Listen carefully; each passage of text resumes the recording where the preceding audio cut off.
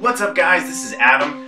Uh, today we have a very interesting video uh, from this week's drawing challenge, which is video games. Everyone who participated and voted, thank you so much. Uh, so many votes, so many good choices here. This is actually a game that I remember playing back in middle school, and it suits a middle school mindset, let me tell you that. So starting off here, we're doing our sketch. At the bottom left hand corner, you can see my phone. I've taken pictures of my, my thumbnails. So that's my, again, my drawing reference when I'm drawing these videos. But so I'm gonna lay in him, and then uh, in this particular piece, I've got a lot of typography that's going on in the background, a lot of uh, words and letters to have fun with, and um, yeah, I actually went back and watched a video of someone playing this silly game. It's called Boogerman, uh, a Boogerman, yeah, it's the, the character, and it's this this overweight superhero who flings his boogers and farts on things, and he runs through stages that are covered in mucus, and it's utterly gross. He, anytime he does something good, he yells the word rad or cool.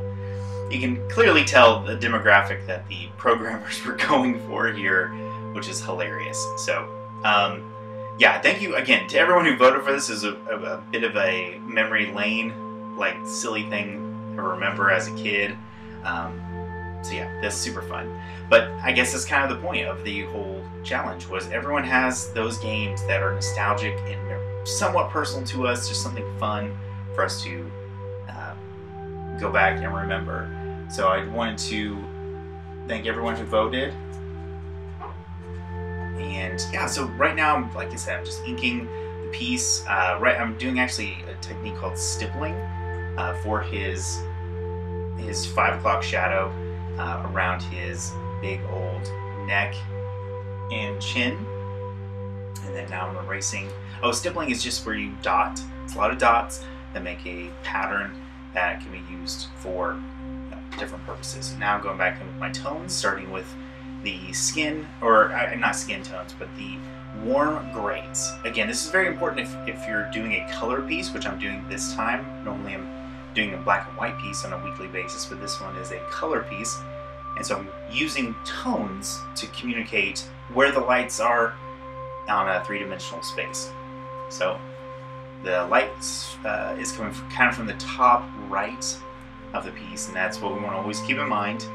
And the highlights are going to be on that side of every piece of information. The mucus, the cape that he's got on, which that is a cape, and uh, his face. So we're just going to keep that, like I said, in mind as we do this piece. So I'm going back, I'm going darker, darker to communicate um, shadow and three-dimensional space putting in colors, and just this guy would not. I mean, he would not be Boogerman if he were black and white. It just it just would look weird. So he he needed to have that that gross mucus uh, look and texture to him. And so now I'm going in and putting all the the words in like gross and Ralph and cool and barf.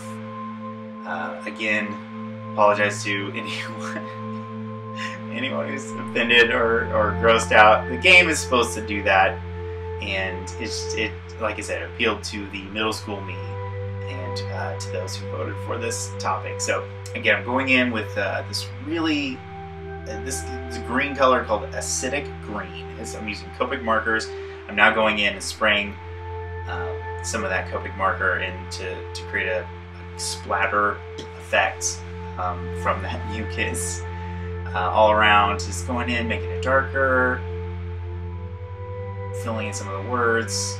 Um, and then lastly, and I'm putting in my highlights because no matter what it is, especially something that is uh, liquid, it's going to have light bouncing off of it, even if it's gross mucus like this is. So I'm going to throw in some black spray or black um, effects, and then I'm going to throw in some white and kind of show like this dimensional uh, piece and then we'll be done. But yeah, just going back in with a brush actually on some of those highlights because again, mucus kind of, you can easily manipulate and show that that white with your brush. So again, thank you guys so much. This piece is available to purchase for $75. Just message me if you're interested for this original piece of artwork. Thank you so much for watching this video. Thanks.